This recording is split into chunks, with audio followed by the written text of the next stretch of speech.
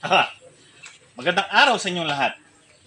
Ngayon, tapos na yung season ng mga mangga, ng mga bayabas. Kung, napapan kung napanood nyo yung mga nakarang episode, nagpakain tayo ng mangga, ng bayabas. Nung season ng mangga, nagpakain tayo ng mga hinog na mangga. Nung season naman ng bayabas doon, pakain tayo ng mga bayabas. Ngayon naman, maraming seresa. Aratilis. Sa Tagalog. Mansanitas. Oh. Magpupulot tayo ngayon. Ito, sawa na to sa Aratilis. Ito. Dahil ito yung puno eh. Yan nalalaglag yung mga bunga. So, pulutin naman natin yun.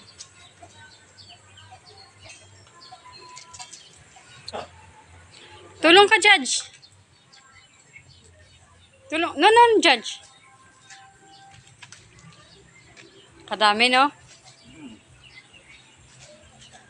No, Judge. Shh, Judge, no. Uh, kahit pa paano eh. Matagal, matanggal yung mga buhangin. Lamig na. Yes. Ulan.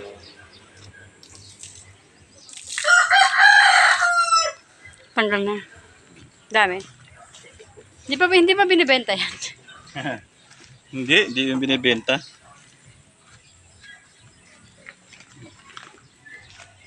Matakaw. Matakaw. Ay, matakaw yan sobra. Tapos na. Story na sa kanya yun.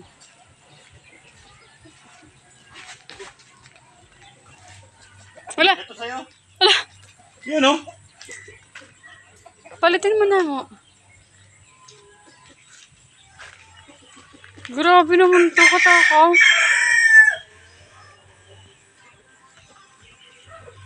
Wala. Wala. Wala. Wala. Kinuha pa yung lahat.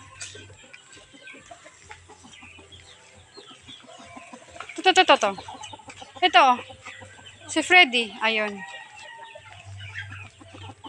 Judge no. Kagaling na eh.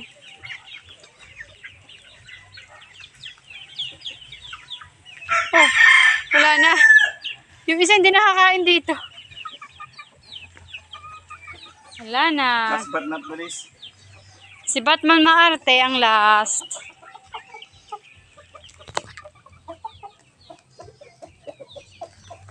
Ano naman So? ang masasabi mo?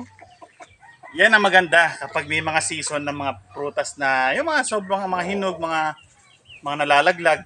Sayang naman imbis na, yan lang yan dyan na mabulok o walisin lang. Di, pakain natin sa mga alaga natin. Nakakadagdag yan sila ng vitamina Wow. at ah, sugar, syempre. Tapos, Magiging active si Batman. oh, may extra ka pang pakain sa kanila. So, baga, pandagdag din sa pagkain nila yan. Ah, organic na paraan. Wala naman yung spray eh.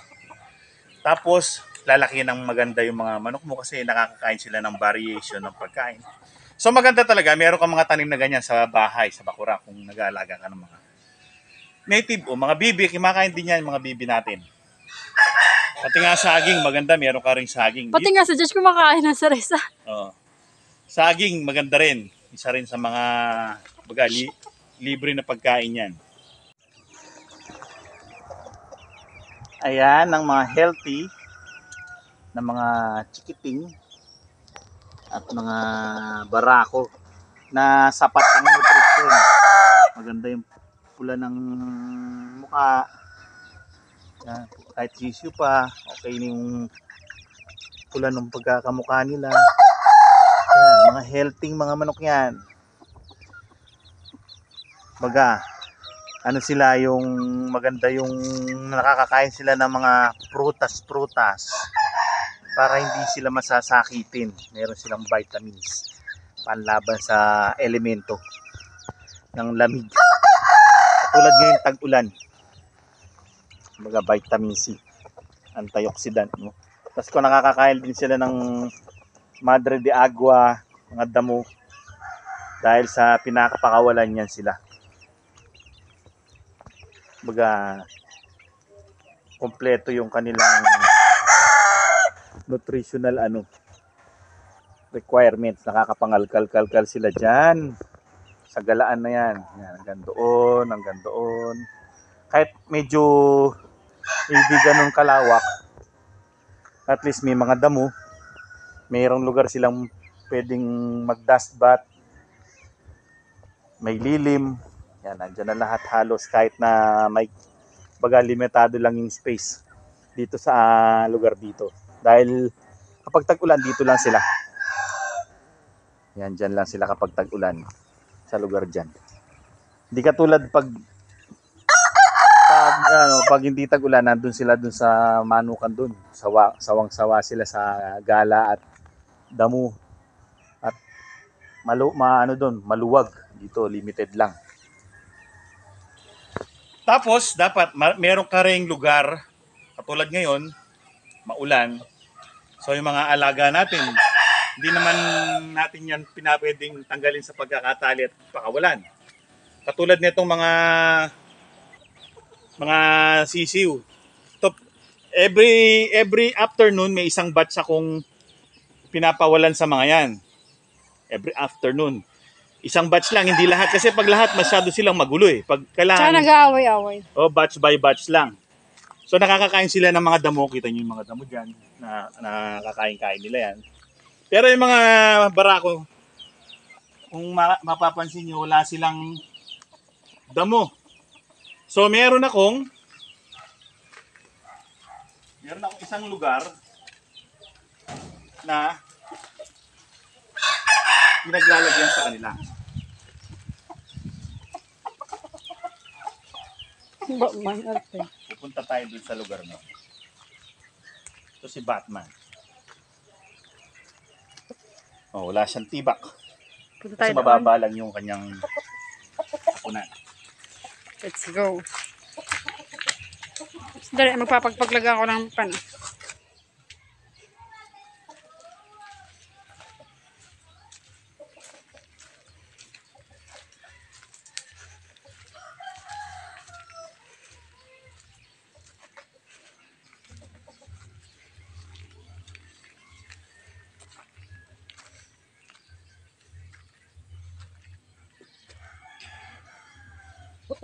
So, yan.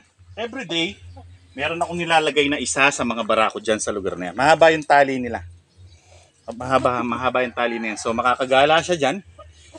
Makakakain siya ng variety ng gusto niyang damo. Yan, meron ding Madre de Agua na kung gusto niyang kumain Madre de Agua. Tapos mga variety ng damo.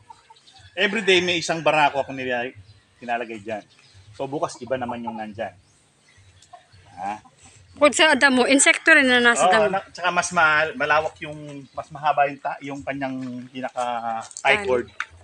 So kaya niyang magagala ng hanggang dito. Yan dyan, kaya niyang magagala. Haba yan, mahaba yung tie cord na yan. Kahit anong variety yata ng damo meron dito. eh. Meron pang luyang dilaw, may talin, talinum. May, may talinum dyan.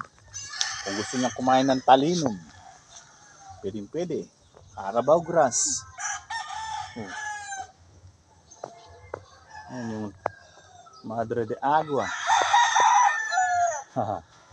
Ito. Luyang dilaw. Masarap din naman yan sa manok. Pag niluto. pwede din kainin ng manok yan. Ayan, may talinum din dito kung gusto. Tabi ni Judge. Oo. Okay dito. Oh, masaya si Batman dyan. So ayan ang magandang gawin sa mga alaga natin. So kung limited lang yung space natin, dapat meron tayong isang area na madamo na pwede nating ina-alter-alternate lang sila na nilalagay sa damuhan. Para nakakakain sila ng damo. Kasi kailangan ng ating mga alaga yung baga mga damo para makumpleto nila yung kanilang nutritional requirements. Bukod sa mga nila- binibigay natin mga prutas. So, mga kabukid, sana meron akong nai bigay na tip. na usual lang naman yan. So, hanggang sa susunod na episode. Maraming salamat sa inyong panonood. Paalam! Oh, Judge, bantayan mo na lang yan, ha? Puntahin mo, huwag mong awayin na.